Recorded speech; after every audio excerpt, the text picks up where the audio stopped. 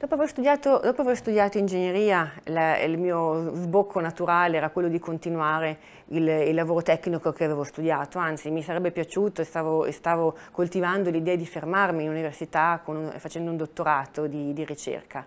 E quando mi sono laureata però all'improvviso mi sono aperte tante opportunità, molto diverse tra loro. E appena laureata ho cambiato completamente e sono andata a fare un, un, internship in una banca, quindi da ingegnere tecnico che aveva studiato per cinque anni i circuiti e, e, e tutto quello che era veramente legato all'elettronica, mi sono trovata a fare uno, un internship in una banca lavorando sui bilanci e iniziando ad approcciare il mondo della finanza.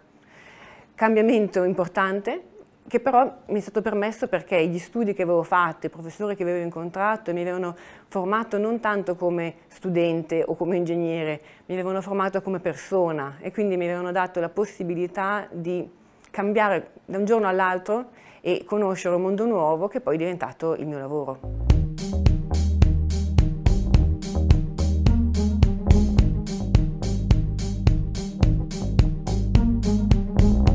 Ho, ho scelto l'Università di Pavia perché mi offriva esattamente quello che cercavo. Io volevo fare degli studi scientifici e la facoltà di ingegneria elettronica incontrava esattamente queste, quello che cercavo, quindi la possibilità di fare uno studio scientifico ma con un contenuto più pratico e che eh, fosse abbastanza vicino al, al mondo del lavoro.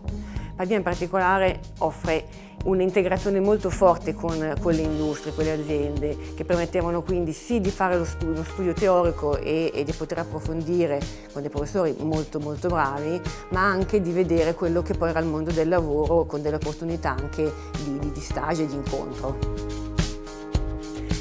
L'Università di Pavia è, è, è, un mondo, è, un piccolo mondo. Eh, Pavia è una città abbastanza piccola in cui però il, il, il gruppo degli studenti è, una comunità fortissima. Il fatto poi di avere tanti collegi permette di raccogliere tante persone che vengono dall'esterno, che vengono da fuori e, e che e si creano eh, dei legami con, eh, con, gli altri studenti fortissimi, legami che poi restano sia negli anni dell'università